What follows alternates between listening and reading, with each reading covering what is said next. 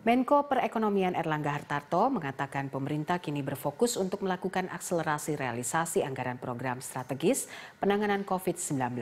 pemulihan ekonomi nasional dan juga program kementerian lembaga. Hal ini disampaikan saat memimpin rapat koordinasi tingkat menteri yang berlangsung di Nusa Dua Bali.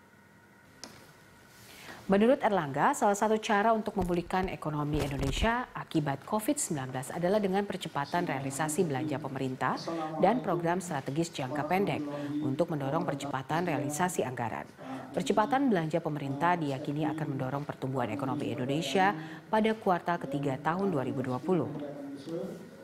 Kemudian Nah, juga kami laporkan yang Kemudian terkait dengan uh, belanja KL dilakukan inventarisasi terhadap anggaran berpotensi untuk tidak digunakan untuk dibuatkan program lain dan juga untuk terkait dengan program pemulihan uh, COVID dan PEN ini juga dibahas program-program baru yang bisa diakselerasi di kuartal ketiga maupun kuartal keempat.